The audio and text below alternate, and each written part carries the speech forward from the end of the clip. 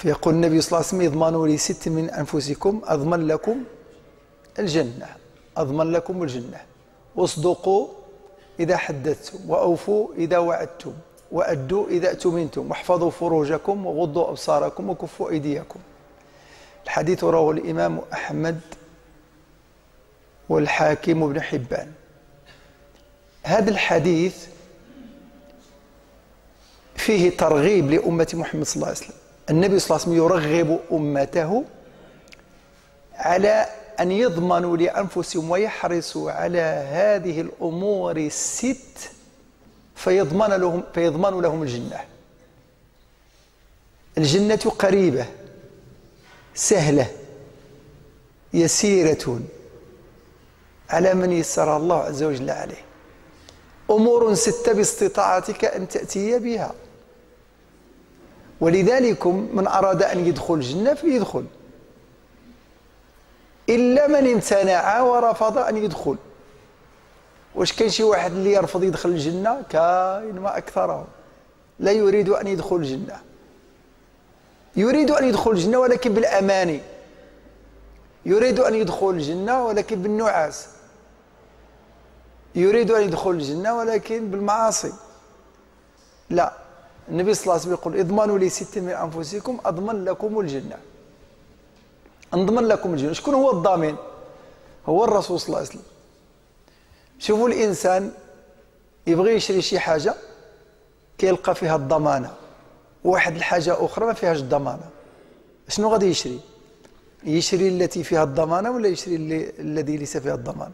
يشري التي فيها الضمانة. يمشي الإنسان يسلف. مال من شخص. يقول له ائتني بالضامن من يضمن لك رد مالي؟ شكون اللي غادي يضمن لي؟ من يضمن لي رد مالي. شكون اللي يضمن لي؟ أنه رد مالي. يأتيني بالضامن يضمن لي ويكون ضامنا بيننا في حالة ما إذا أنكرتني فهو الذي يتحمل المسؤولية. فيأتي بالضامن وهذا الضامن خصو يكون صادق. يكون فيه مواصفات نتاع الأمانة. فأنت ترتاح حينما ترى شخصا عدلا صادقا ضامنا وتسلف له. لأن عندك الضامن. إذا في هذا الحديث شكون هو الضامن لدخول الجنة؟ الرسول صلى الله عليه وسلم. والرسول صلى الله عليه وسلم أمين وصادق ومصدوق وهو الصادق والمصدوق. النبي صلى الله عليه وسلم يقول اضمنوا لي ستا من أنفسكم كل واحد يقوم بها نضمن لكم الجنة. هاي الجنة سهلة. هذه الأمور ماشي في العبادات. هذه الأمور ماشي في الصلاة ولا في الصيام ولا في الحج. لا في المعاملات. شوفوا أهمية المعاملات. في بعض الأحيان ما تبقاش في الصلاة. راه واخا تصلي وتصوم وتقوم الليل وتحج وإلا كان عندك الأخلاق سيئة فلا فلا معنى لهذه العبادات. تكون عندك المعاملة حسنة نابعة من الإسلام. حينئذ يكون للصلاة مفهوم العبادات مفهوم. حقيقي ويكون لها معنى تكون لها لذة. إذا النبي صلى الله عليه وسلم يقول اضمنوا لي ست من أنفسكم وضنكم الجنة. إذا الأمر الأول اصدقوا إذا حدثتم. لما تكلموا مع الناس كونوا صادقين. تبيعوا وتشريوا كونوا صادقين. في المعاملة ديالكم يكون عندكم الصدق. ما تكذبوش. المؤمن لا يكذب. المؤمن لا يكذب. في هذه الساعة في هذا الزمان الكذب هو هو الشائع. الكذب هو الشعار نتاع بنادم الآن. اللي بغى يروج السلعة ديالو يكذب. اللي بغى يروج العمل ديالو يكذب. اللي بغى يبيع ويشري مزيان يكذب. اللي بغى يثيقوا فيه الناس يكذب. يثيقوا فيه الناس يكذب. باش يكسب الناس. الكذب. بغى يتزوج يكذب. بغى يبني يكذب. بغى يمشي شي إدارة يكذب. الكذب صار هو الشعار تاع بنادم الآن في الزمان. ولذلك أخبر النبي صلى الله عليه وسلم أنه من علامات الساعة يكثر الكذب. كذب في الهاتف الكذب في وسائل التواصل الاجتماعي غير الكذب الكذب الكذب. بعض المرات كنتصفحوا كنلقى غير الكذب الناس غير تكذب. الصورة ولا الخبر ديال 20 عام و30 عام وينقلوا على الصفحة ديالو ويقولوا شوفوا هذا وقع كذا فينا كذا هو ماشي هنا ماشي الكذب كاين الإنسان يتكلم مع صاحبه يكذب عليه. يصيفط له شي حاجة يكذب عليه. ولذلك النبي صلى الله عليه وسلم يقول لا تقوم الساعة حتى يكثر الكذب كثر الكذب حتى أن الإنسان يحتار شكون اللي يصدق فين هو الصادق وفين هو الكاذب. ولذلك الآن الآن الواحد يتكلم مع الآخر عنده 90% نتاع الكذب يعني في مخيلته وعشرة ولا أقل من الصدق. صار الإنسان لا يصدق في هذا الزمان.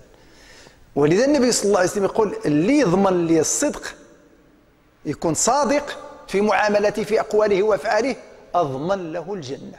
نضمن له الجنة. هذه أولا وأوفوا إذا وعدتم.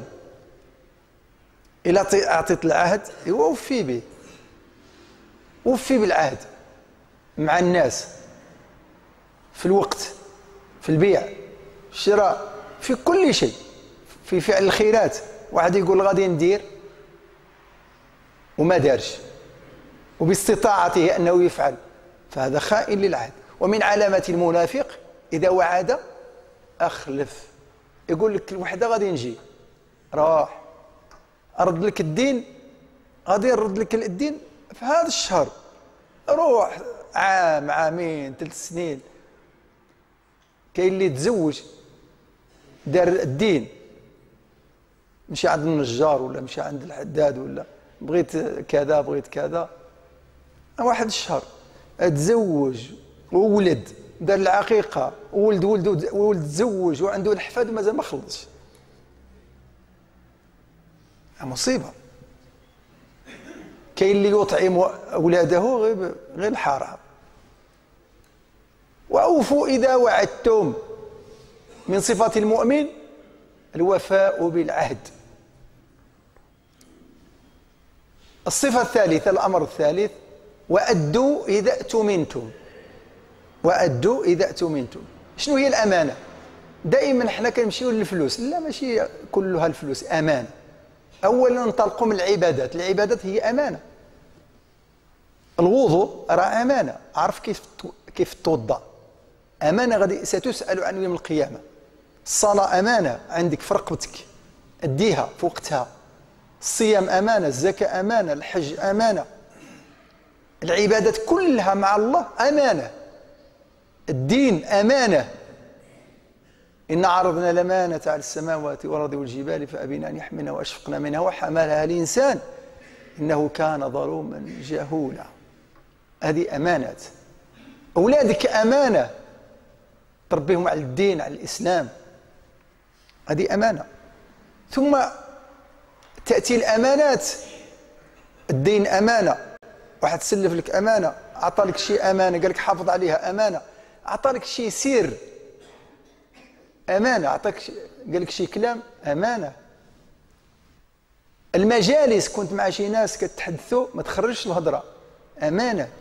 الرسول صلى الله عليه وسلم يقول المجالس بالأمانات.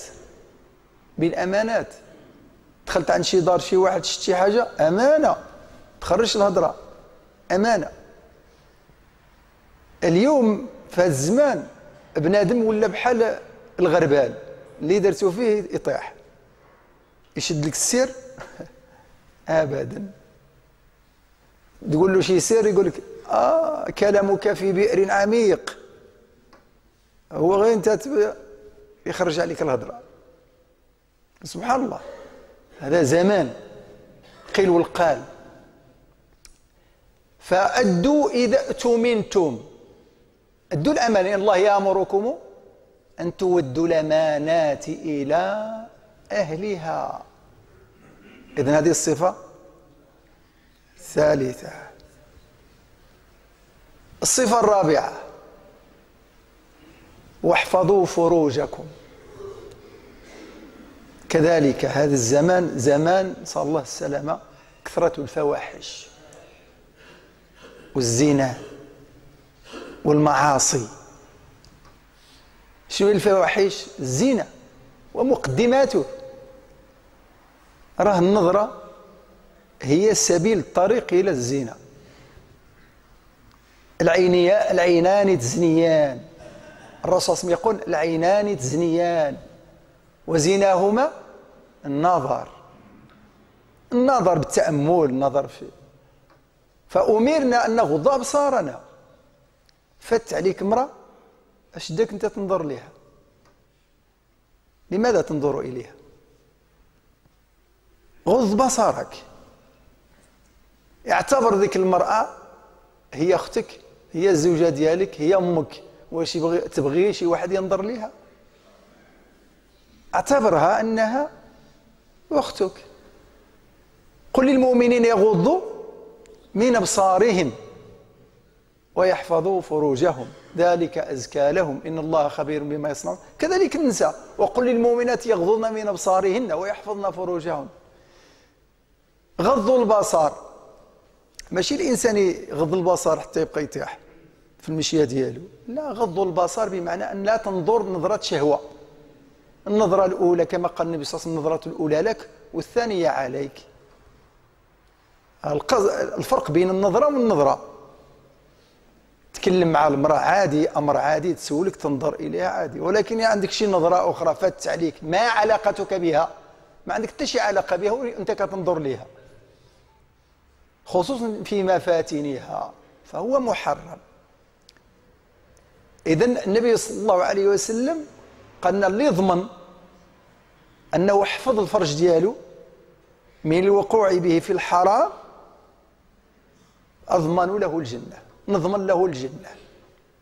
ولذلك من صفات المؤمنين اللي مذكورة في سورة المؤمنون قد افلح المؤمنون الذين هم في صلاتهم خاشعون والذين هم عن اللغو معرضون والذين هم للزكاة فاعلون والذين هم لفروجهم حافظون. إلا على أزواجهم أو ما ملكت إيمانهم فإنهم غير ملوم. فمن ابتغى واعتدى وراء ذلك فأولئك هم العادون. ولذلك الزنا من الكبائر. لأنها به تختلط الأنساب. تقع الفواحش في المجتمع. إذا رفع الحياء وقع الزنا. وإذا وقع الزنا اختلطت الأنساب. ووقعت المناكير. وهذا سبب الخراب والدمار للمجتمعات. سبب الخمار زوج اللي حذرنا منهم النبي صلى الله عليه وسلم.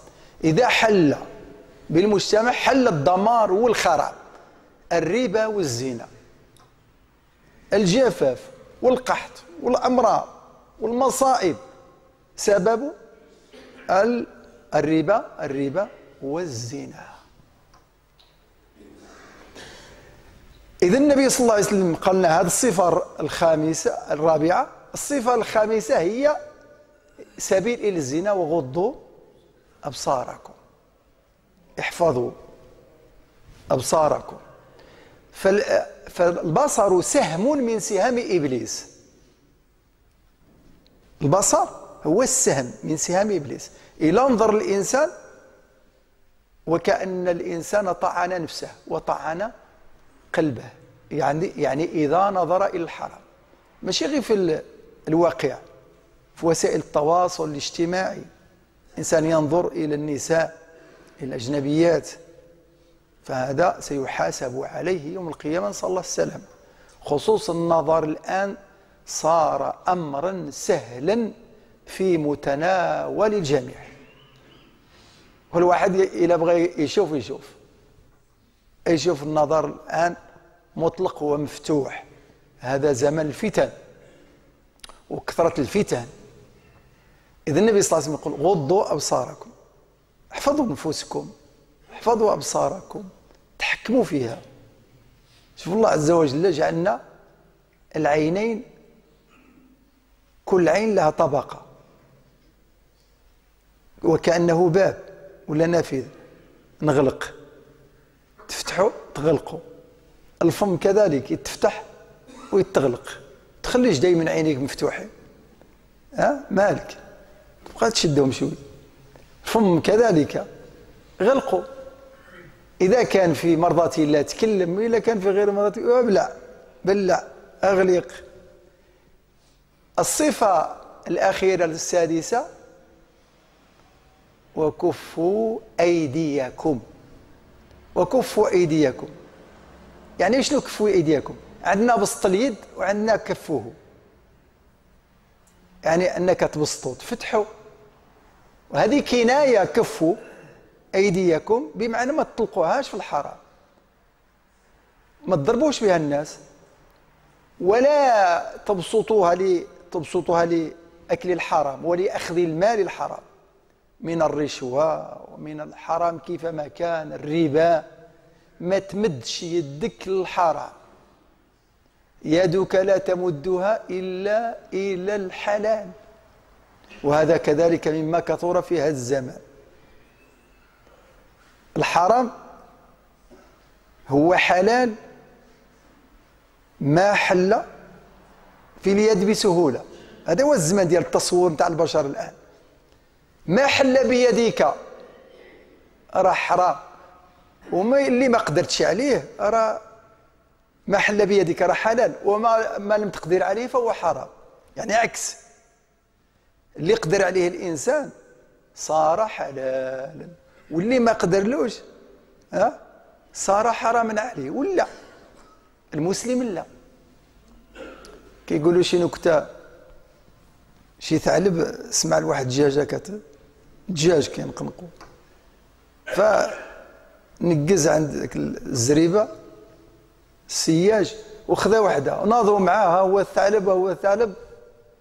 لما طار بغى يخرج طاحت له ذيك الدجاجة. وشاف فيها هكذا؟ قال له الحمد لله اللي ما كتبليش الله الحرام. وراه دار المحاوله باش يسرق دجاجه وباش ياكلها.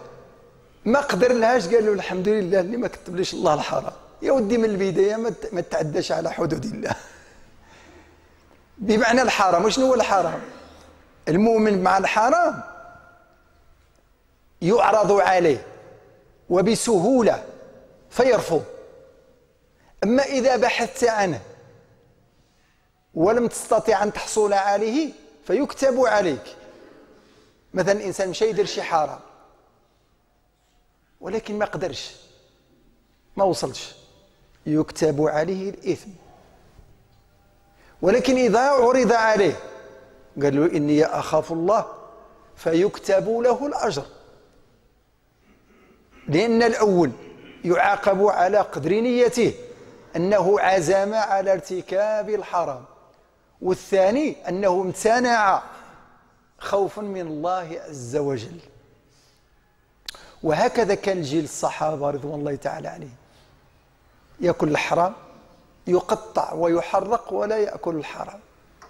يرتكب الحرام يقطع ويحرق ولا يأكل الحرام. علاش؟ لأنهم عندهم البصيرة. إحنا الآن في الزمان عندنا البصر ولكن ما عندناش البصيرة. شنو هي البصيرة؟ البصيرة كتشوف بها إلى الآخرة. تشوف بها إلى الجنة والنار. إحنا عندنا غير البصر كنشوفوا غير الدنيا. خصني نبني الدار خصني نتزوج خصني ندير المستقبل يكون عندي الفلوس يكون عندي السيارة. يو الآخرة فينها؟ فين هي الحق تاع الآخرة؟ غادي تموت تخلي كلش.